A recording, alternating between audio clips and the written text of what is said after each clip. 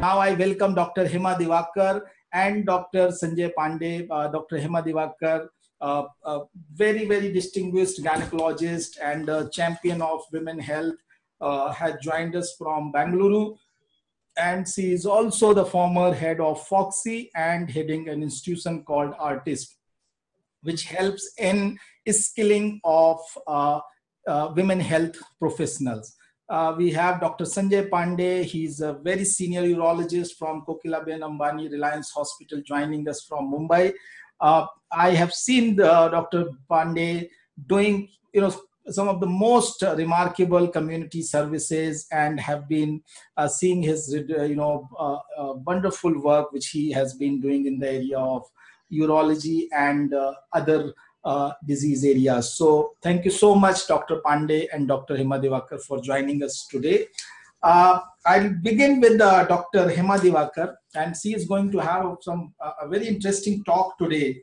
And uh, this talk is about this whole session. we have been hearing multiple aspects of our healthcare system. we have heard about the system deficiency. We have heard about you know the extraordinary uh, work our doctors are doing uh, and we have also heard about a lot of good things which we have. Uh, we want to now go uh, a little bit more personal about how our doctors you know uh, how do they feel and what do make them you know keep moving in their profession which is which is considered to be uh, a selfless service to the society something which is near to god and many times you know comes with lot of inflated expectations. So i'll, I'll go to dr hema divakar and would like to understand from her in her talk that what makes her what she is you know working for the women health and what makes her or keeps her going as a doctor Namaskar again to Kamalji, Sanjayji, and all our viewers. So, the title of my deliberation, which I chose on purpose because that has been the story of my journey from passion to purpose. Through yesterday and today, I think Kamalji and IHW Council has exposed us to a variety of the thought processes and perspectives of various leaders and uh, the frontline workers, which has all the more strengthened our resolve to do more. So, in healthcare, you know, when uh, yesterday I think Dr. Sandhu said, as we mature and be over the hill over 50 years, we slowly start recognizing that it is time to give back. Well, even before we mature, actually speaking, there are two aspects in this. One is the business and one is the service. So most industrialists the businessmen for example they will look at what's there in it for me okay? And ultimately when they reach some level of maturity they say oh it's time to give back to the society. That is all about the csr or corporate social responsibility. So even they feel responsible but maybe it comes at the defined point of time when they have something to give concretely, tangibly to bring things to scale. The other aspect is the service aspect, where we as doctors think not what is there in it for me, what can we do to make the world a better place? So, in that context, okay, always I have been thinking bit by bit, what is it that I can contribute? And of course, what's there in it for me is a lot of look back satisfaction, which some people may think it's just crazy, but ultimately that's what a person needs and aims to. So if Himani will permit me to share my slides from passion to purpose.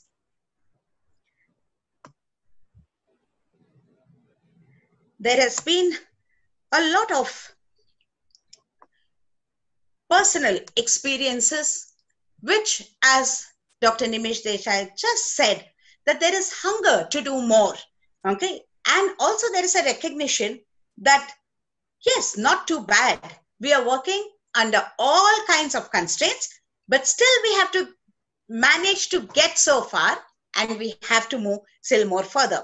When he talked about the media saying, India, diabetic capital and suicide capital and, uh, you know, these many depressed people, there's a cue we have to take from that. Yes, it is our job to showcase the positive stories to reach everybody. Because if anybody from the West is challenged to manage our situation, if they may be seeing just five patients in three hours, just imagine when there is a limited access to healthcare and there are about hundreds of patients that a doctor has to see in that same three hours, how quickly, how innovatively his mind has his or her mind has to work to spin things as fast as he can because he has to do his best for the community that has reached out to him.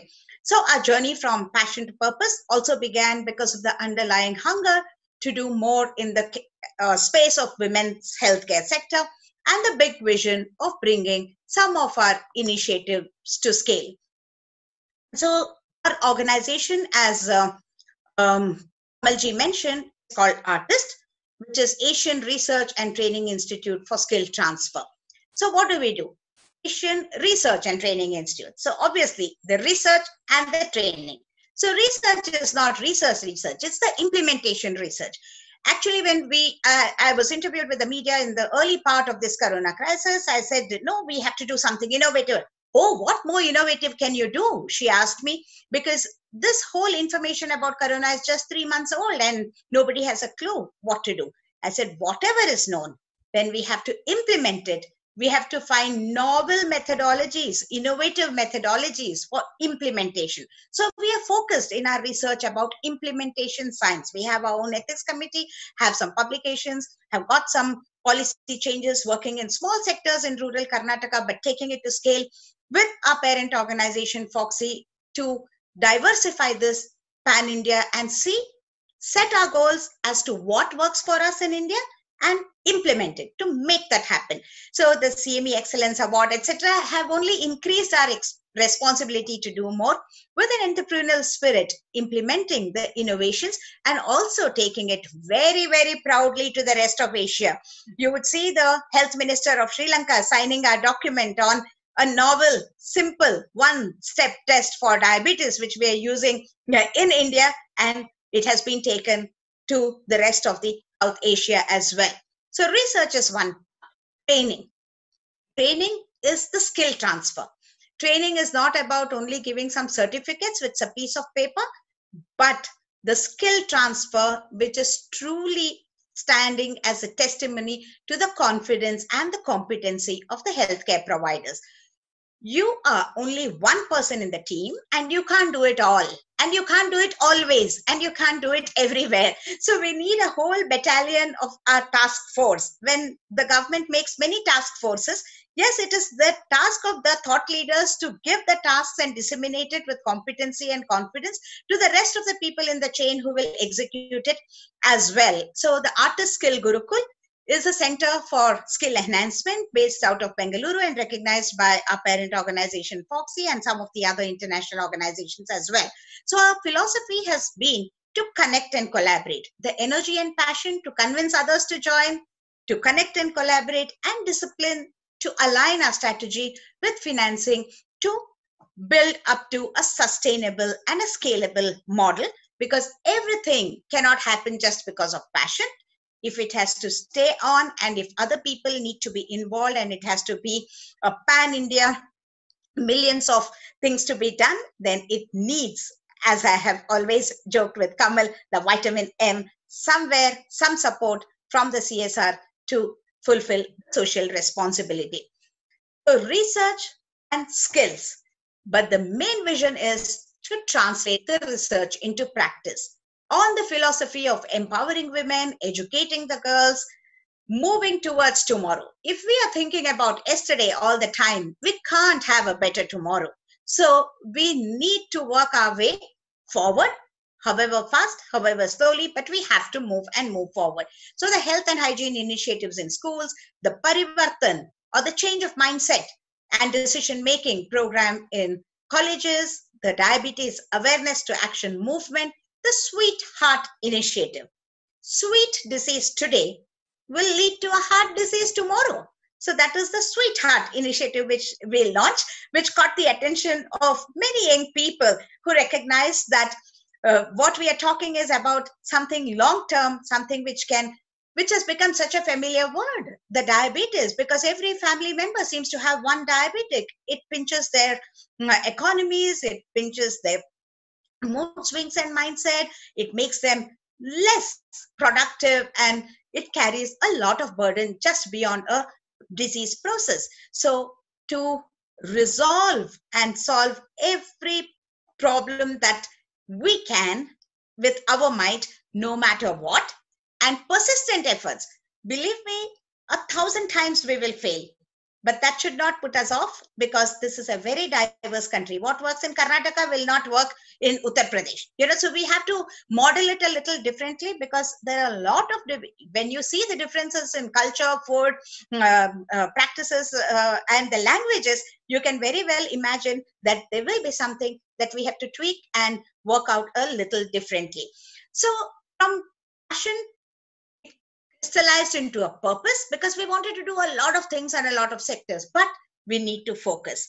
Yes, and the focus, as how it has been elaborated in the quiz program going through the day itself, is the ABCDE. We just hit upon this acronym because we want to address the girls and women at every age in her journey through her life.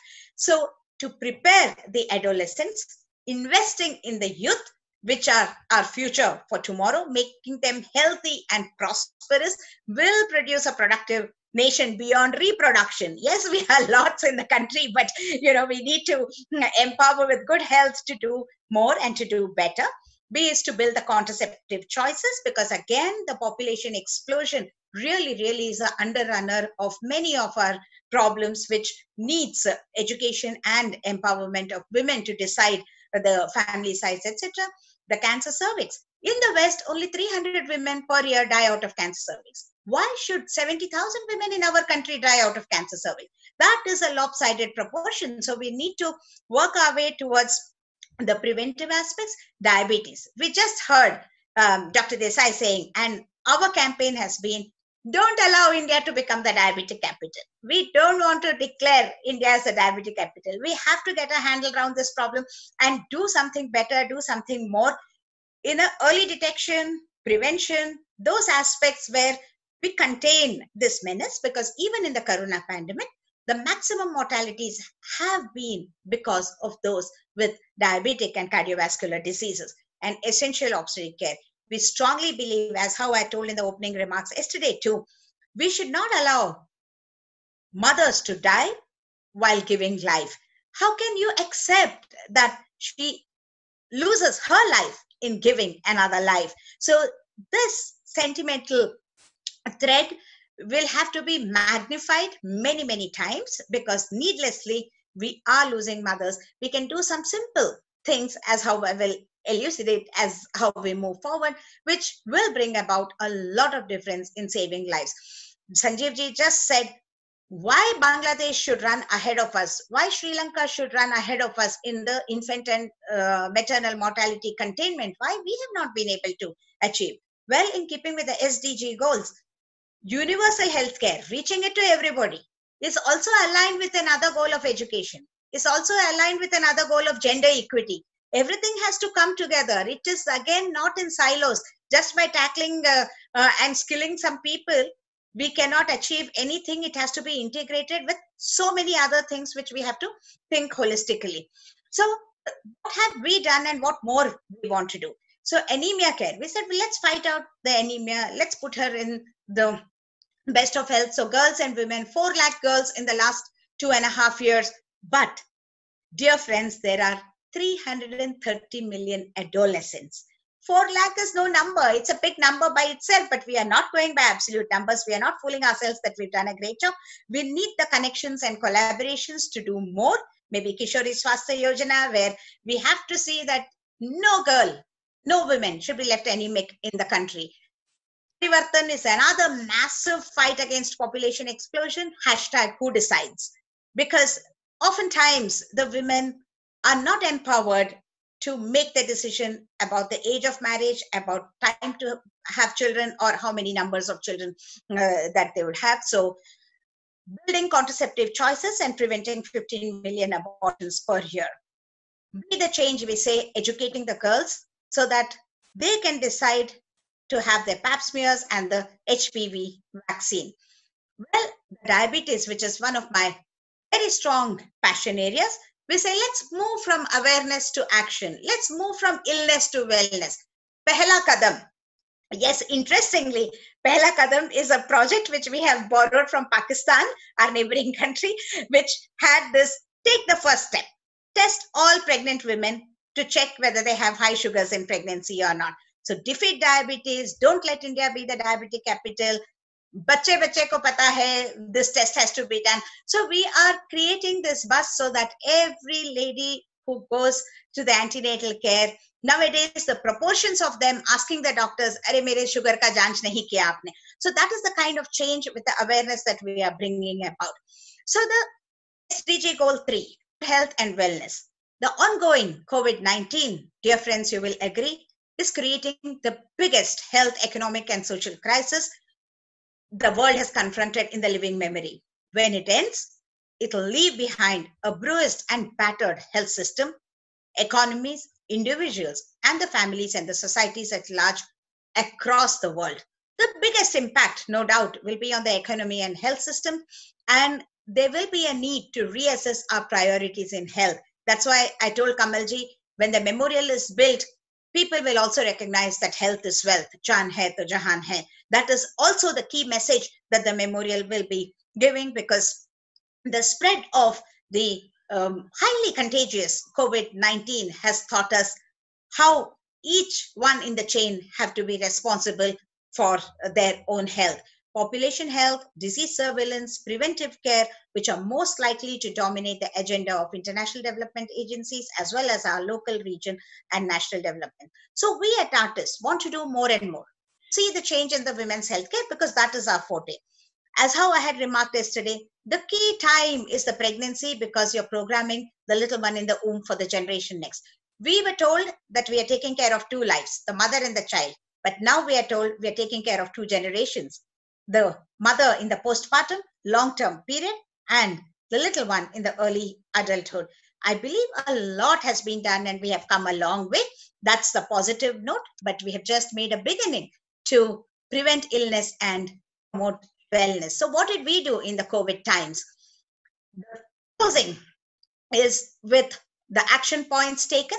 Again, I would emphasize let's not ask what others have done. Let each one reflect and see what we can do. And the moment we recognize that the COVID preparedness is required, there's no use just saying we are COVID warriors.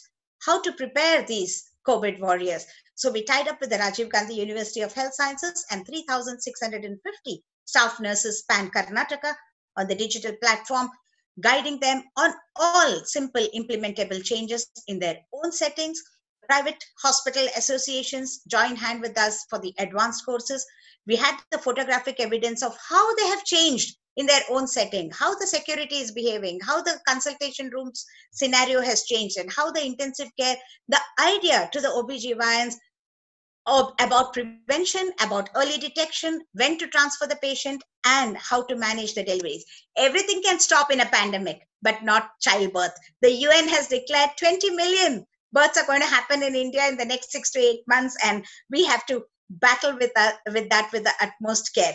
Similarly, the task shifting 1 million frontline healthcare workers for 30 million safe deliveries because you should never die just because you are living in a rural remote place without any access to healthcare so training the paramedics from interiors of rajasthan assam up karnataka tamil nadu maharashtra for saving lives actually nobody is allowed to sit in the class everybody has to go to the skill stations and keep doing and repeating i often give them the example of the oxygen mask which dropped down in the um, aeroplanes the several times that we would have heard about how to wear the mask, what to do, etc., which the hostess says. But unless once you do it yourself, you may not be really skilled to do that. So again, our concept of connections and collaborations, the public-private partnership. We believe it's important. If if the matter is so important to you, you will find a way. Otherwise, you will just find the excuses. So, with all the organizations like Jhpiego, like FOGSI, MacArthur Foundation, MSD for Mothers, the uh, nationwide movement of Manyata to respect and give quality of care to mothers, digital platform training, which we started two years ago, it has caught on like wildfire now because everybody is onto the digital platform. Because two years ago, when we started this, nobody would trust us that we can transfer the skills through these. And just look at us today, talking to so many of you face to face, but on a virtual media not underestimate our rural women. They are very much more tech savvy than what you and me think. And there are many messages that can cross to them and uh, guide them as to their own healthcare behaviors. And we believe that for diabetes, it will not be a new insulin, but it will be a digital technology which will guide us the way forward. Going back to my last two slides, it says that maternal and child healthcare, you may think it's all about women, girls, and your just delivery process, and there it ends. No, there it begins because the new era of NCDs, the tsunami of NCDs is actually originating from here.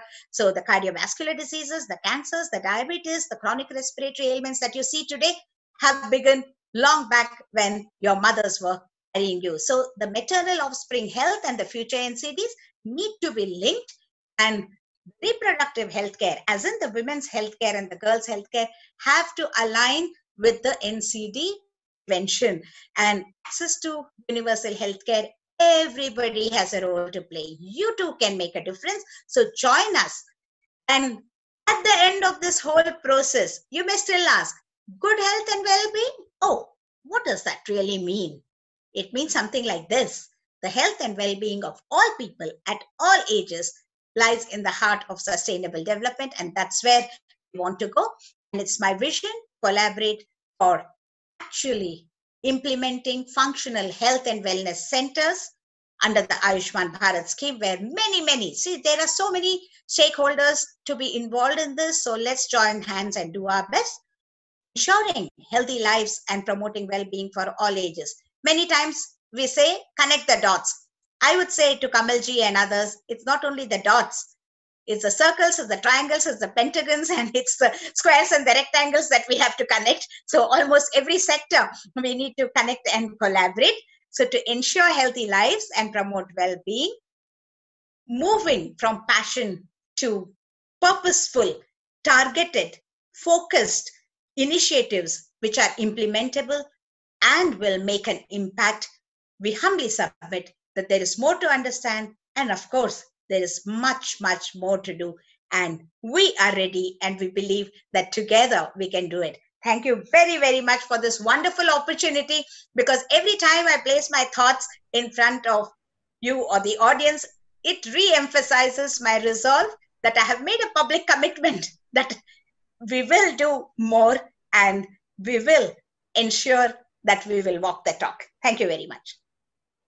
Thank you so much, Dr. Divakar. You know, it is always very inspiring to hear you and the kind of uh, you know grand purpose you have built around your uh, you know passion and your practice, and how you know uh, starting from uh, as a doctor you have started the whole movement of uh, taking health and well-being to uh, almost every segment of the society, especially women and adolescent girls.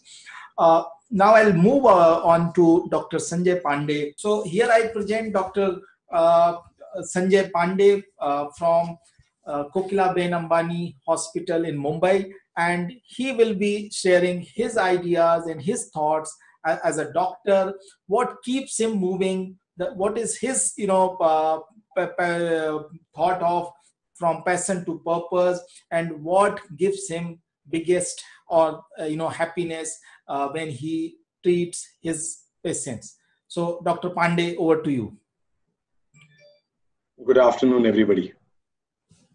At the outset, uh, Kamalji, you and the entire organization, I think it's a, it's a very emotional story to be uh, given a chance to be speaking about yourself. When did somebody ask a doctor, How are you, doctor? But the era has changed, you know. When people walk into the clinic, they first ask, How are you? And the question goes back reverse How are you doing? What brings you to the hospital? So I think when we look at this entire aspect of give and take, it is important today on a very Thanksgiving day to be able to give back to everybody uh, what they deserve.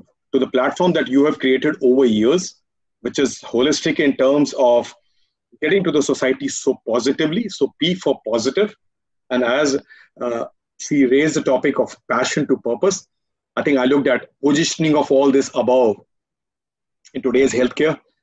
Passionately, over the next 10 15 minutes, I would take you through some slides. It's about just to give you a flow about a personal journey and evolution into this subject, experience that we have over the last 22 years in urology and allied specialties we started. The evidence that exists, which helps me to work, and as uh, she said, it's all about evidence based medicine today. And finally, the expectations of individuals who expect that from you come as patients across the table. But remember, they are partners to us in the society. So today, we hail uh, your entire effort in the last two days and over the first seven days of July. We also hail the effort of all colleagues who have joined us today to take uh, the stimulating talk which just happened. I'm very impressed, you know, the kind of uh, passion that she has taken forward to the highest possible level. So passion to purpose comes with a little bit of change, and I want to want to give you a little perspective before I move forward. It possibly is an epoch-making day today to be relating my story in the subject that I've taken so far.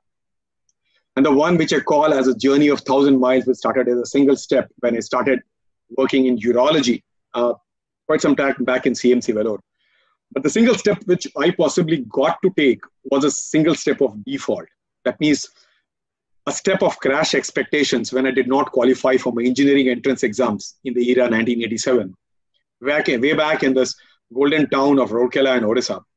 And medical entrance came by a hard work that followed at that age of 18 in the dream town in Rourkela, where I was born to parents, an engineer father and a homemaker mother. So that was a cosmopolitan and happening in a vibrant town in that era in 1987, where my foundation was created from possibly would be an engineer to a doctor. I've never looked back since 1987. So it took me from Odisha, uh, from SCB Medical College, Cuttack to Tamil Nadu, to CMC Vellore and to JIPMER Pondicherry, moving from the MBBS to the MS surgery days to MCH urology. And then I moved into Sri Ramchandra Medical College, Chennai as an associate professor in urology for close to less than a decade before I did my first and possibly the only job change, which brought me to Mumbai to Kokilaben and Dhirubhai Ambani Hospital uh, 12 years ago in 2008. That's how I had a small stint in AIIMS Delhi and also in Rajiv Gandhi Cancer Institute in Delhi. What does it mean? It means that I was born in East, I studied in South, I had stints in Delhi at AIIMS and Rajiv Gandhi in North, and I finally now uh, serve to be as an Indian like all Indians in the West. So I attempted to look at understanding uh, the subject and the country in whole. So my purpose of the entire passion is to bring about positioning of the entire aspect. And to bring you that today, friends and society, which has actually come in large numbers for a program that you have created for a Thanksgiving. I carry greetings from Kokilaben Dhirubhai Ambani Hospital in Mumbai, where we follow a motto, every life matters. I think it's not our motto, it's everybody's motto. It's your motto too. So everybody follow the same motto. So today we are here and such a wonderful tour of luminaries who are actually discussing the way healthcare could be taken forward in the crisis that we are in. Very candid confessions which are actually coming around is about to improve the quality of life of every individual and every individual matters. So individuals who come to the hospital happen to be patients and they need to be treated. While healthcare has moved into the hospital, healthcare should move out of the hospitals to the society. and That's where you have got it. You have actually taken it forward to the highest possible level. I heard some interviews you took in around where you actually took this very social cause of promoting health to the society, which means a wake up call to individuals who may be suffering through something but will not be probably looking at getting to a doctor at this point in time. What does a doctor deal with? He deals with two important things. He possibly deals with life-threatening diseases like the trauma and the accidents. He deals with cancers and malignancies which spread and probably take away your life. On the other aspects, he deals with quality of life issues. What are they? Something like incontinence of urine in my subject. Something which you gradually postpone around. My black hairs are turning gray and I'm not very bothered about it. Why? Possibly it's a very gradual and a slow change. came March, and we suddenly, with one clap, the whole lifetime changed. It was a tectonic shift in the world which a civilization never saw, which was it was a sudden onset change. Compared to a gradual change which happens in quality of life diseases, for example, somebody lives with incontinence of urine in a diapers for a decade and then comes and sees a doctor. Is it important for you to live for a decade on this? Is possibly not. And that's where the quality of life which individuals suffer for multiple reasons that needs to be taken forward. And that's what the change it is. So I show the U to you because dial U for urology, that's my subject. But every bend that you have to take in the road is not the end of the road. That means we as human civilization, we as doctors, we as a society have moved together and probably in good congruence, we have not failed yet to make a turn, the turn that is required for today. For example, if I look at my colleagues, COVID warriors, in this hospital and, and smaller hospitals and all cities and countries in the world, I know what they're going through, what their family goes through around. That means all doctors who are serving you today, uh, while you stay home and stay safe, which is the motto that we need to follow, spontaneously each doctor puts in his hardest best, and that he has always done. It is only probably we're waking up in Corona times to understand that uh, many front care, front health workers actually take a real life threatening at themselves to take it forward to the highest level. So, in other words, in my journey in last 22 years in medical science, uh, which now comes strongly based with my uh, foot on, on, on the ground and my head on shoulders, understanding diseases and patients in these years, the message has been very loud and clear. A human being could dance to a tune of his dreams, improve his quality of life, take the, the goals to such high levels around, possibly if, if he could meet his doctor and complain in time. Sadly, we don't do it, but it's time for us to wake up to this important aspect. So while a doctor balances his ethics, he looks at preserving physical and mental health of individuals and looking at quality of life issues. He controls that without a compromise. It means he always thinks out of the box to what you complain. If you come and complain about fever, that could be a bother to you. But the fever could be resulting from a pneumonia or from a malaria or from a tuberculosis. So he has to go deep inside and search the cause. That means he has to balance your complaints, pick up the diseases and treat it. This is something which I'm not saying new. It's been a thousand year stories. So thinking out of the box in today's era when newer diseases are coming in around is where the wake up is to possibly partner, and I think we should all partner. In the era before, we had miles to go because we were on an acceptable therapy. But we knew that what got us here to January and February 2020 would not take us to January and February 2021. We are in very crucial times at this point in time. Each individual in the society has done his bit. For example, remember, hand washing was only known to healthcare. Now we all are obsessive, compulsively washing hands every 20 minutes. Mask was never known to even physicians. Only surgeons used to wear masks, and the anesthetists and doctors and nurses inside the operating room. Mask has become a way of life. So, accept something as a way of life today is possibly a way to move forward. I think we should look at a teamwork in all aspects we can do because what we could contribute is what is important. And therefore, the teamwork is what I'm looking forward in a subject of a subject which is probably shrouded, a subject which is little hidden, partly because urology is something to do with urine, with kidneys, and possibly people did not take so much of heat because dekha jayega jab zarurat padegi to. That's not what it is. We need to be prepared for. I think this this pandemic is waking up to be prepared for future around so we will do teamwork to take it forward to the highest possible levels.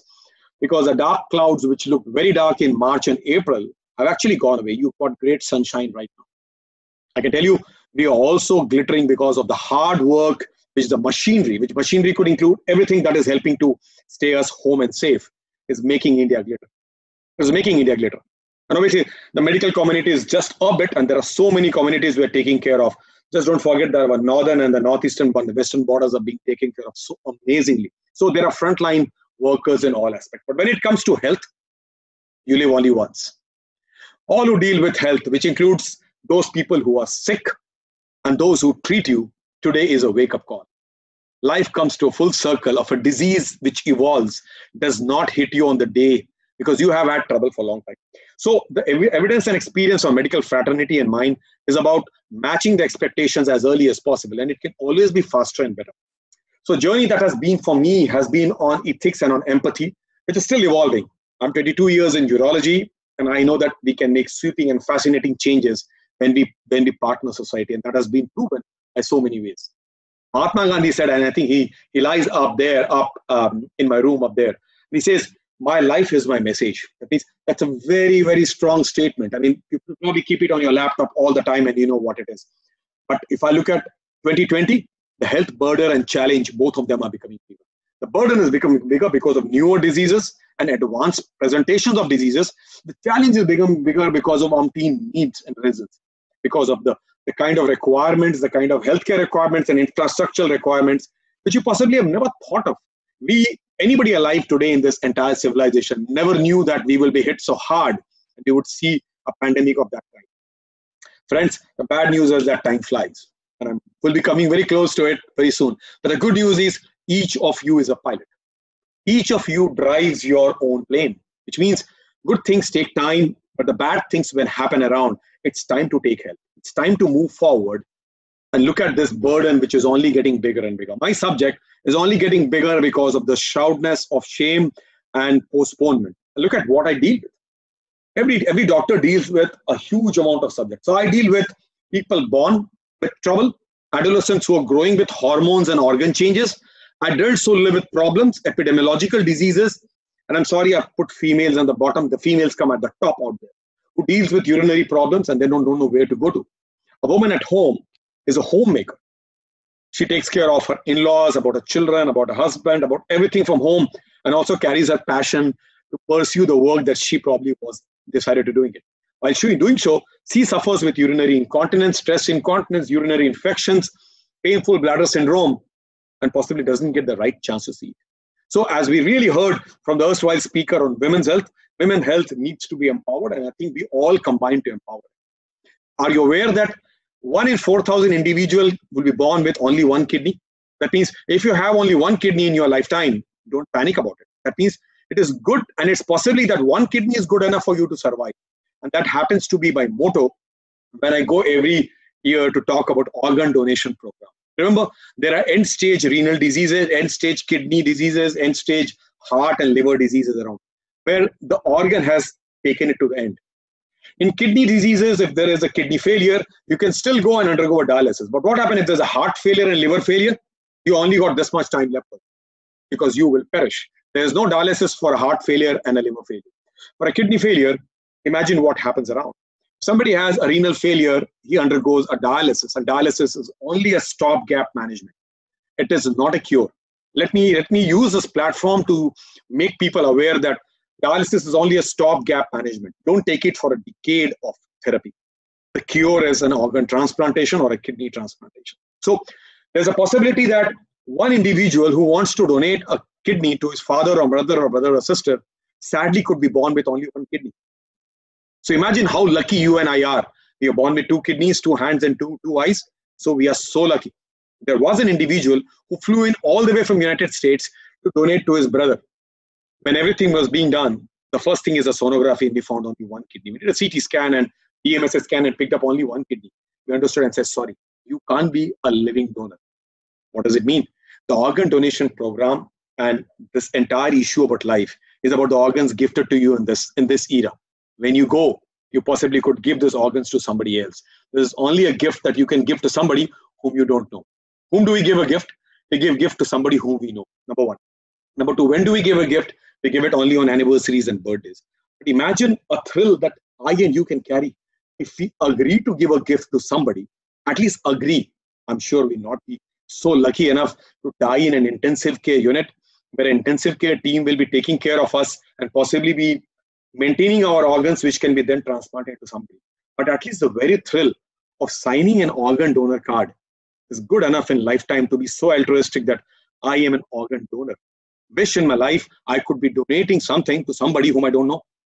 So this is very altruistic thought completely wrong. So somebody could be born with one kidney. But just to take you evolution into all. Men go through changes around. For example, in my in my disease process, there are at least two things which I want to bring in. Women live with incontinence of two kinds leakage of urine. One could be when they cough and run and jump and walk stairs, they leak urine. This happens in the prime of life because of hormone changes and pelvic floor changes. On the other side of men who undergo a hormone change where the testosterone brings about a prostatic enlargement and obstruction to urinary. Both these changes are very slow. And please believe me, People who walk into my room between 50s to 90s are suffering for it between one month, one year, and even 10 years and continue to live with it. Imagine you and I don't get up even, even once at night, but elderly people get up two, five, ten times at night. It's a, such a sad story because nocturia or getting up multiple times at night is a sad story. Health awareness should be that there is something called in World Health Organization World Sleep Day. That means March 17th every year is an awareness day where please sleep soundly and nurture life and regenerate yourself is an important aspect. And similarly, then something called as a World Bedwetting Day. Never knew all this. Last Saturday of every year is a World Bedwetting Day, which means children between 6 to 15 years should stop bedwetting. They should see their pediatricians and urologists in time. And I use this to uh, articulate way in 2017 to open up a clinic for nocturia and bedwetting for quality of life issues by putting out very sound and a strong statement that nocturia and bedwetting can be treated. And people walked in. Nine patients walked in from a place called Thane, which is two and a half hours away from Andheri, which means two and a half hours away by flight to Bombay, to Bombay to Delhi. People came in and said, What did you write? Did you say you can treat? I'm living for last six months, or last two years. My daughter is about to get married and she's still bedwetting, etc., etc. So quality of life issues can be sorted out. That I deal with reconstructive urology. I also am in a social platform and domain to look at awareness of all aspects which I deal with. 28th November 2019 was an epoch making day in the history of this country, where individuals who don't know where to go to, not because of any fault of theirs, but because they are born with that kind of a brain wiring, which they think is right and the world think is wrong, finally got what WHO had actually talked in 2016. This is a step forward in India today that a transgender bill could be passed. I'm deeply involved in transgenderism and gender reassignment surgery of male to female and female to male, something which is being accepted across the world. And I am an Indian representative to WPATH. I've taken this forward to the highest possible level to take it to a documentary movie, which is there by a 20 minute documentary, for people to know that Anna had a lifetime issue about society and about parents and about peers. So, friends, we are all motivated. It's a motivation which brings me here. The passion to do something brings me here. These are all big motivators in the country and the world who actually take you forward around. So, the motivation comes only when you hear somebody else's story. It actually makes a difference around. So, my uh, his his life was his message. My journey is my message. And what do patients take? I love my doctor. I love my gynecologist who takes care of my wife and my children and my young daughter. Uh, I love my urologist who takes care of my father's prostate. And we love our doctors because they have done the job. They work on, there is no eight to five job, please. The, the, the day ends when the last ball is bowled. That's how we work around. Happy that my passion has a purpose all the time because every life matters. We have taken it to very high levels. It is important to balance this and take it to extremely high levels. And that is what I did talk when I did give a TED talk on a subject that I'm following. So to me, it's a take-home message. That means Every patient tells a story. Every doctor lives the passion, and that's his only purpose. His purpose was to serve. He continues to serve in the capacity he can do best. Dedication and inspiration need to be recognized or rewarded? Not at all. Nobody wants to be recognized and rewarded. His reward is when the patient gets well. His reward is when you get a thank you on 1st of July every year. So it's an ultimate sacrifice uh, that a doctor does in very unearthly hour and unearthly circumstances. When we snore at night, there's a full emergency care happening across the, the country at this point in time where COVID warriors take, take task to help people out. So COVID warriors are doing their best. Doctors continue and will do their best. It's only faith which can move mountains, and your faith in doctor has possibly taken it to such high levels. So when I understand that we can do this together, impossible is what about I am possible, or we can convert impossible to possible. Finally treatable and finally curable in, in the words of erstwhile President of the United States of America, yes, we can. It's not me. We is stronger than I. I think we always combine together. And to my senior gynecologist colleague right now, we know that we are partners in pelvis. We require each other all the time. We, we cannot do without each other. We complement and we work each other. And that's how it is. So that we understand health preservation in these years, as I said, quality of life is important and life is in your hands. It is important today to bring healthcare to the front row seat. Don't leave it somewhere postponed. Behind every successful man is a woman, and behind every successful urologist is a gynecologist. Behind every successful minimally invasive program that we do, it's an intricate man, machine, and medicine which takes a revolutionary task to help you. So I think we combine a man, we combine a machine. Machine could be a robot or a laparoscopic or an ultrasound instrument, which a doctor uses to take healthcare to the highest possible level. And the medicines which are Make in India campaigns are great. I always believe in awareness, awareness, and good news story. I wish we could have good news like this every day. Awareness on various aspects and diseases is an important aspect. Friends, as I come to close, it is important to understand that we are today living in an era of stress, an amazing stress that we all are combining together. And we're thinking out of the box. We are staying safe, we are staying home, our cars are still biting dust, our offices are all closed, our, our bills are changing completely. That stress is invisible. We're also living in an era of innovation. We have learned to live into so many new things. Where could I, without Kamalji's help, reach the entire country to be able to talk to all of you in the society and tell you that it may be an era of competition, it may be an era of evidence based medicine, an era of anonymity of disease and data. But we promise you, as doctors in this country, to set very high orders, very high orders of safety, and very high orders of evidence based medicine in Indian healthcare. It's important that your participation becomes a game changer. Because only when you arrive to a doctor's platform and say, I have a problem, the doctor would decipher and probably do A to Z to get you sorted out.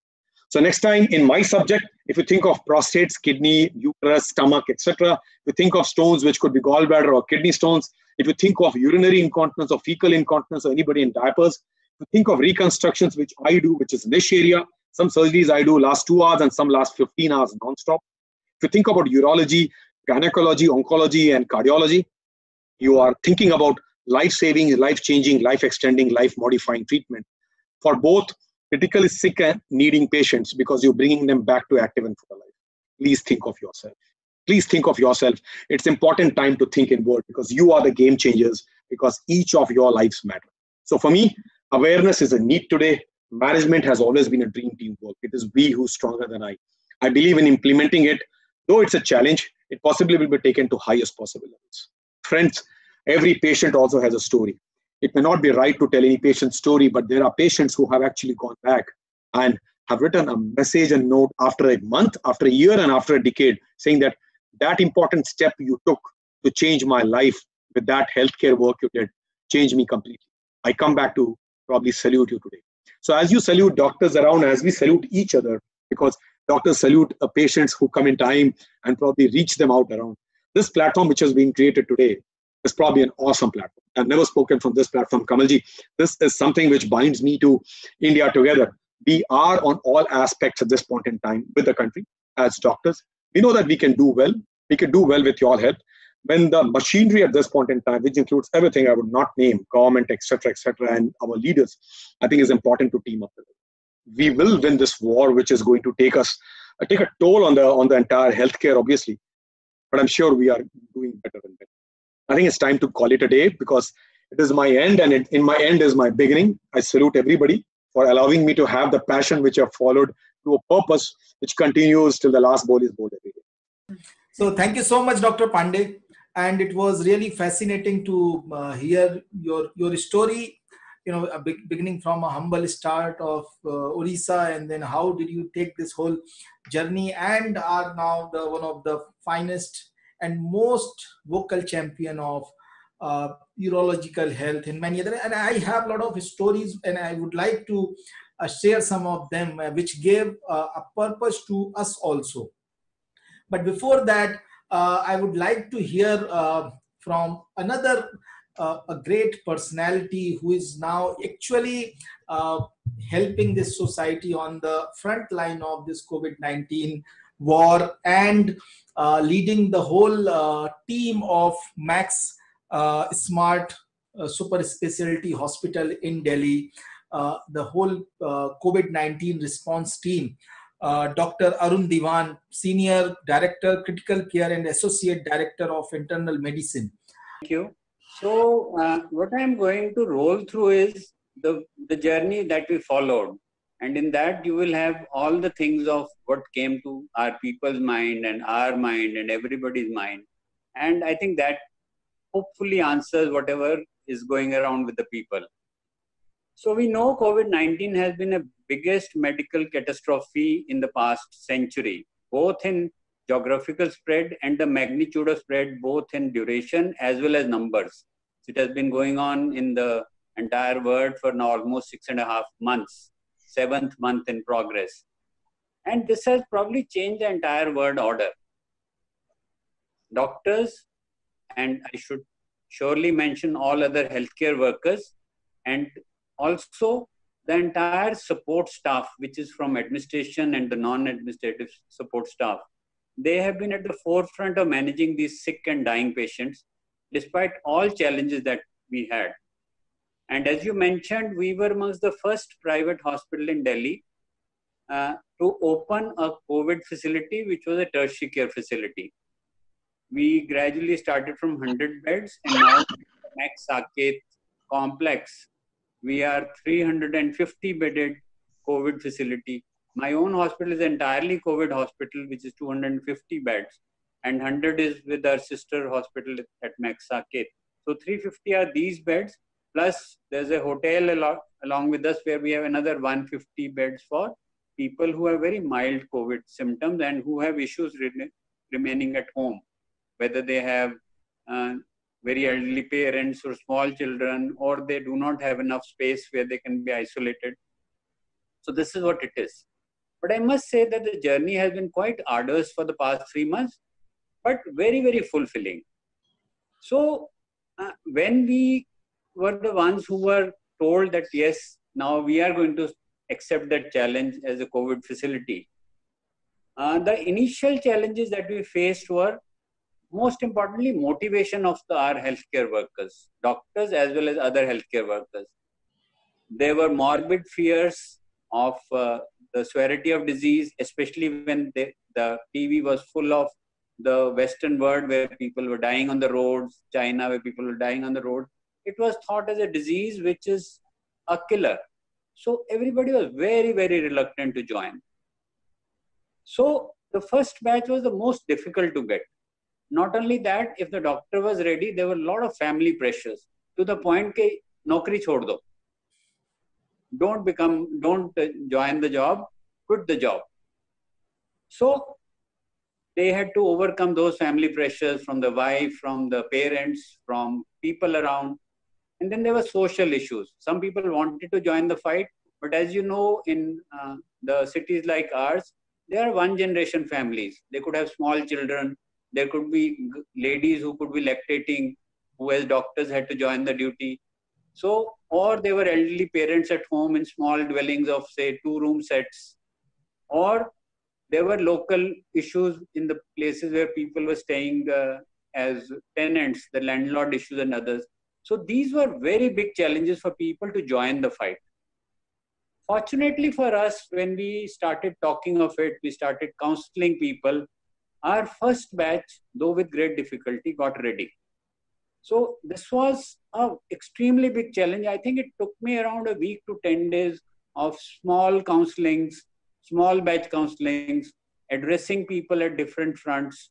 But finally, once we got going, I was sure once we are getting going, we can now be running the show. Then, as this is an absolutely new disease, we had no idea what was going on except for the literature and what the world was showing. We had to prepare well for the fight, and I'm happy that we had around week to 10 days to prepare for the fight.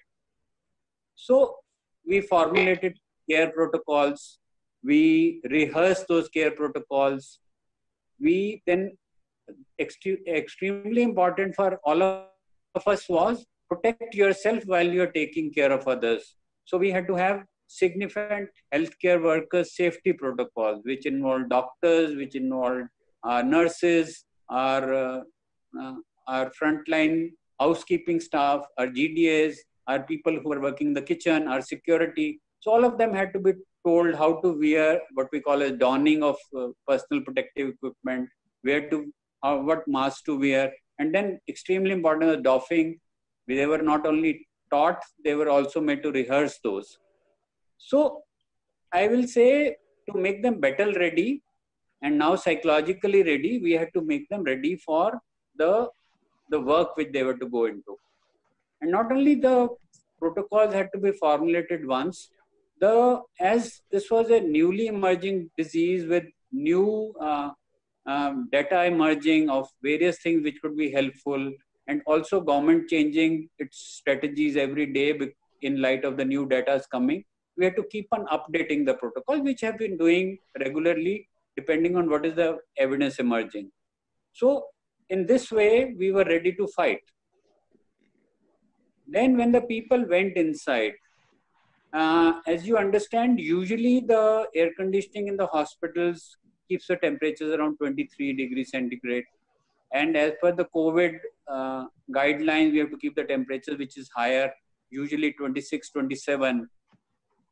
And the people wearing PPE, the temperatures inside the body rise by another three to four degrees. So you can imagine they were almost in an oven with a, a fully clad PPE and with the temperatures rising, they would be sweating to their vests totally.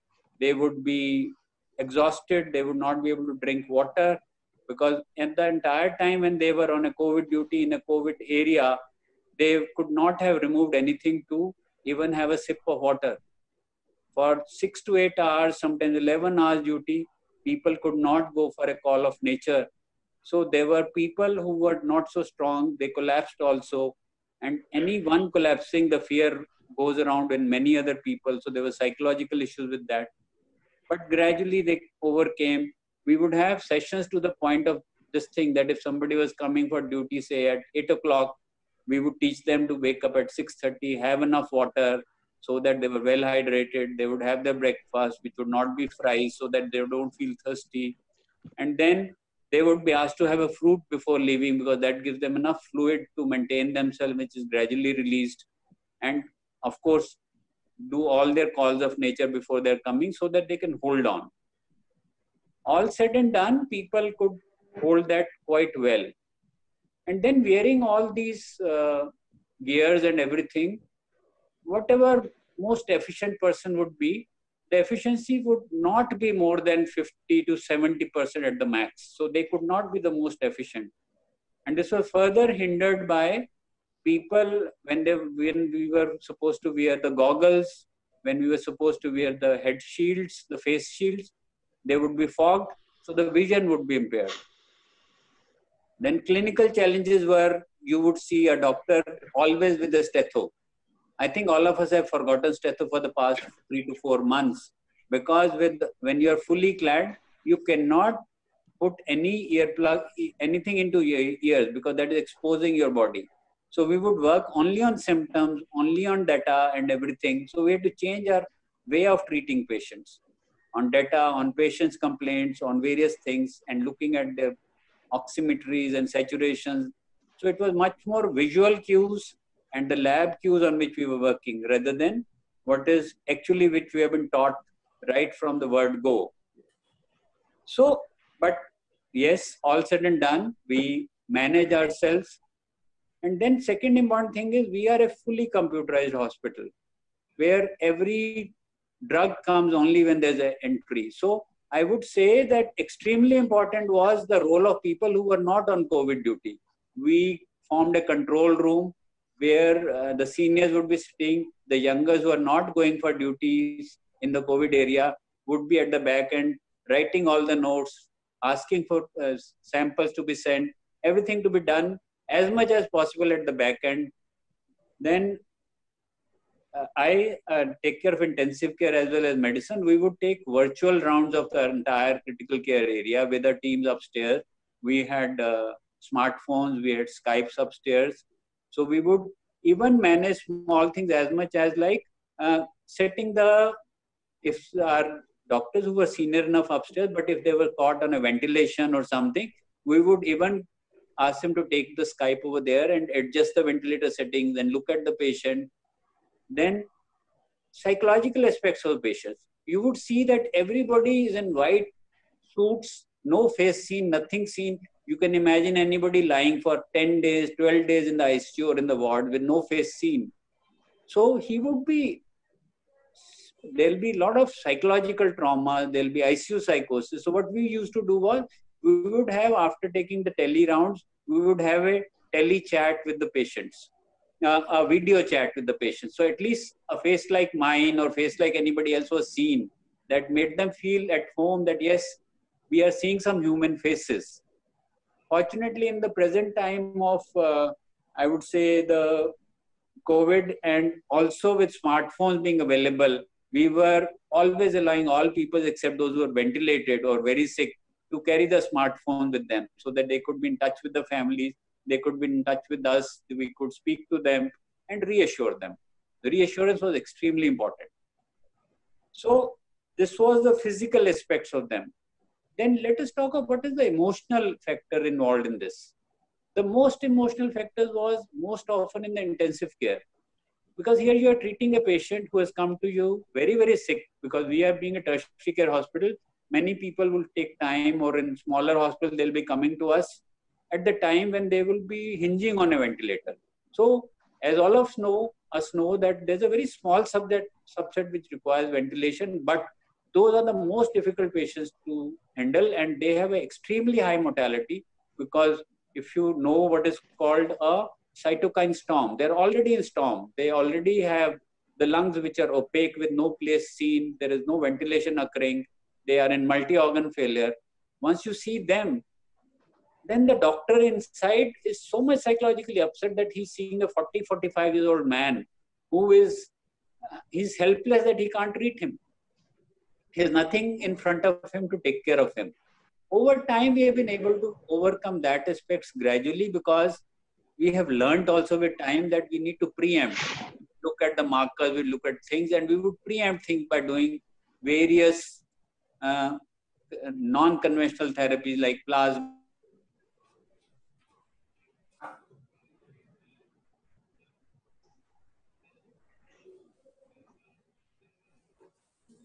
There seems to be some connection problem. It is a wonderful story. Yes. Uh, yesterday, this So- was on Times Now. Yeah. I think he's back. Yes. Yes, Dr. Dewan. Dr. Dewan, please. He's muted.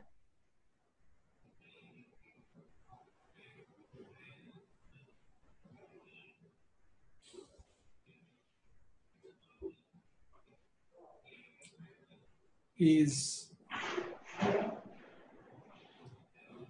It's on mute, Dr. Dewan. Uh, just see if you can see the icon there and uh, unmute itself.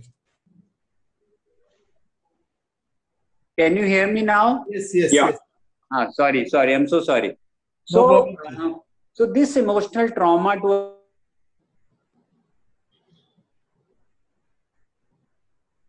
you would have nothing to take care of them, and would have uh, you would be losing them, and uh, that would be there.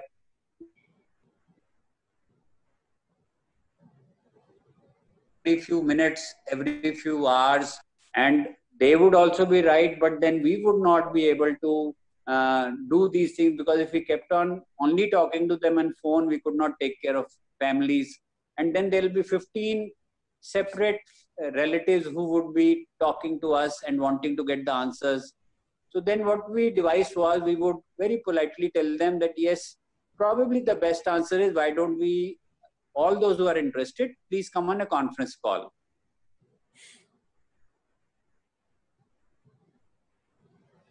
uh, that to finish, but to be able to talk to five, six, seven people who are interested and very firmly but politely told that yes, we cannot do more than this.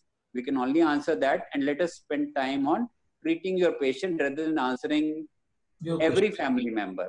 So we would always ask them to choose one family member who would be doing. But then that led on to a lot of emotional drainage from our doctors who were inside. We were outside, we could still handle them, but our doctors inside were physically as well as emotionally drained them. Then the doctor not only was a doctor, he acted as a psychologist, he acted as a nurse, he even sometimes acted as a GDA, somebody is looking for water and GDA was running around for somebody, something else. An intensive care doctor will pick up the glass and give him water and take us. So they were all rolled into one and they were quite happy about it. But one is person doing a duty there. He's got spent six hours, eight hours with the patient. He comes exhausted. Normally, one will go to the family, one would be chatting with parents or children. Here, you would be after your duty, you are quarantined into a room after your duty hours. at the maximum fortunately you have smartphones where you could look at something those who were lucky enough in uh, of course in our any access to tv also nothing to look at and anyway unfortunately tv only gave us negative news so you could not be very happy looking at those. So there was a lot of loneliness in them. Because you would either be working and the rest 16 18 hours you would be not even be mingling with your other friends because you would be only quarantined to your room. Then after you were over with all this work you would be going on a quarantine for good initial guidelines said you would work for two weeks and then you will go in for a quarantine for another two weeks so 28 days you were away from your family and quite often because there is such a lack of uh, manpower many people boys had to boys and girls had to come back and redo the duty. So you can imagine you would not be with your family for one and a half months two months. Maybe you're only virtually talking to each other. So this is very big emotional things. Then others concerns which were which would emotionally drain them was either in the news that some doctor got affected some doctor who became unwell then there'll be news which will be flashed on the TV that yes, unfortunately we lost this healthcare cover worker or the doctor.